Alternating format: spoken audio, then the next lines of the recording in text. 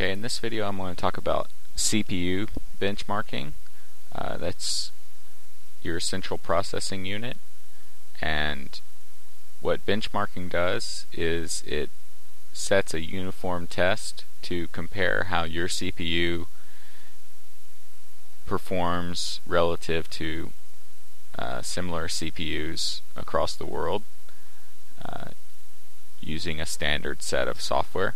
So one of my favorite ways to CPU benchmark is the uh, program called Prime 95. It's available at mersenne.org, and this is the home of the uh, GIMPS project, which is the uh, great internet Mersenne Prime search.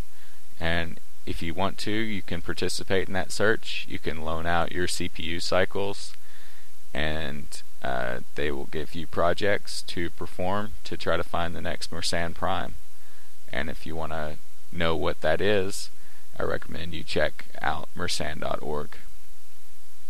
But I'm just going to be using Prime 95 for benchmarking this CPU. Um, so I download the program.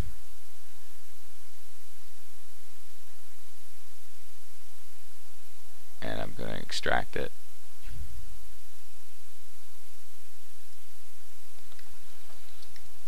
Uh, the program I'm in interested in is Prime 95. We'll run it. Uh, it gives you the opportunity when you first run it to join GIMPs or to say just stress testing. I'm gonna I'm just stress testing right now. Uh, so it brings up this window to run a torture test. Uh, that will just basically run the benchmark for forever until you tell it to stop. Uh, I don't want to do that. I want to benchmark and get some results here.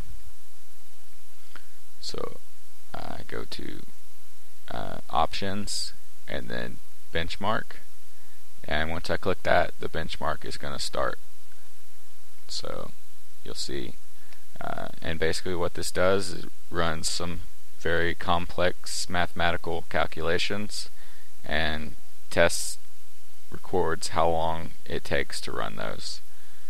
And uh, so you don't really want to do anything while this is running because it could affect the results. Uh, and you want to keep as little variables as possible.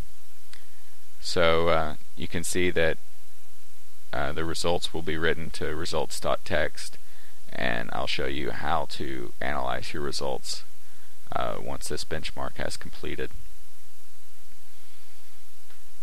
So we can watch the benchmark run.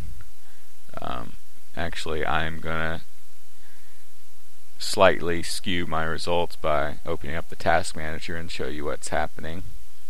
Uh, the CPU is completely pegged at 100%.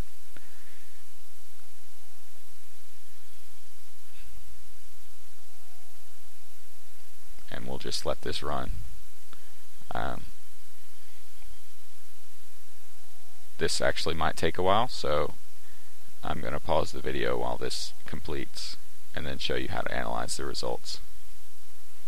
Okay, so the benchmarking has completed, and as it said, the timings were written to results.txt.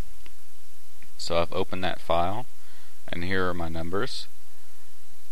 Um, so let me minimize Prime 95. And you can go to mersenne.org, uh, report benchmarks, this address right here, to compare your processor with other processors. And you should note that the lower the number, the better. So, how do I compare? Well, um, the best processor, the uh,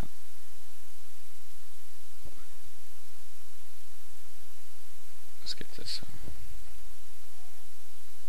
Okay, so you have to compare each uh, stat with the comparable stat.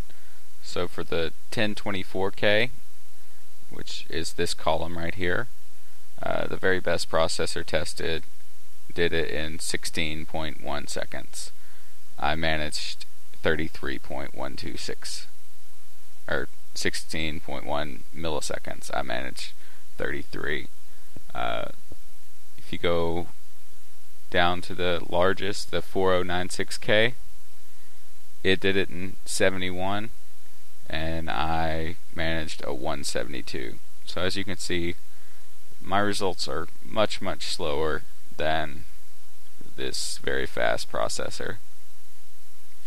So let's go down and see about where I rank. Going. We'll go until we hit 33. So I'm right around uh, this Pentium 4 here, which is actually exactly what this processor is. Um, so I got 33, and then 43, and then around 54, and then around 60 something. And so these are very close to what I'm actually getting on mine. Uh, mine's slightly slower since it's running in a virtual machine, uh, but it's a very good representation of how well your CPU is running. And uh, there are other benchmarking tools as well. FutureMark makes uh, in addition to CPU benchmarking, they make uh, GPU, which is your video card benchmarking, and then whole computer benchmarking. So CPU, RAM, and uh, video card benchmarking tools. Uh, so that's uh, CPU benchmarking in a nutshell. I recommend you check out Prime 95. Uh, it's an excellent tool to uh, use to test the stability of your system after trying to overclock.